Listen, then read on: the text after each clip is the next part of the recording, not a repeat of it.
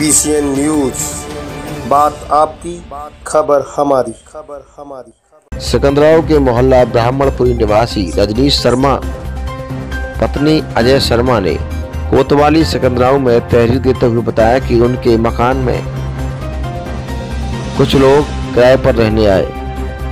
तभी से वह छोटी छोटी बातों पर झगड़ने लगे।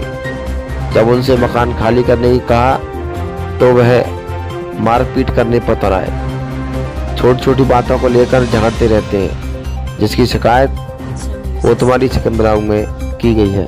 क्या नाम है आपका? मेरा नाम मुस्कान। मुस्कान आ, क्या घटना हुई आपके साथ? हमारा किराएदार रहते हैं? ज़बरदस्ती वो पापा नहीं थे घर पे तो उन लोगों ने हमारे साथ मारपीट करी है। वो लोग अगर मोहल्ले से कोई बचाने नहीं आता तो वो लोग हमें जान से मार डालते हैं। क्या नाम है उनका?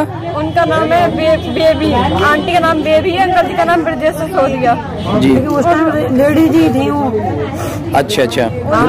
गले पे मेरे इतनी तेज मारा है कि मैं इस गर्दन मुड़ ही नहीं जा रही। है उन्होंने हाथ भी काट दिए मेरे अच्छा आपने कोई तहरीर वगैरह दी है?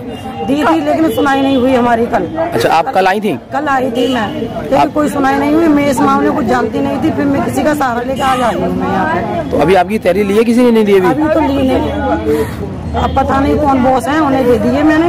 अब पता नहीं पर यहाँ पे घर पे छोटी बहन को छोड़ के आए कल लोग उन्होंने फिर से पुलिस को बुला लिया। पीछे परेशान करने के लिए। अब वो ये रहे हैं खाली कर जब आते हैं जब पंद्रह दिन बढ़ा के चले जाते हैं मैं उस औरत से बहुत परेशान हूँ।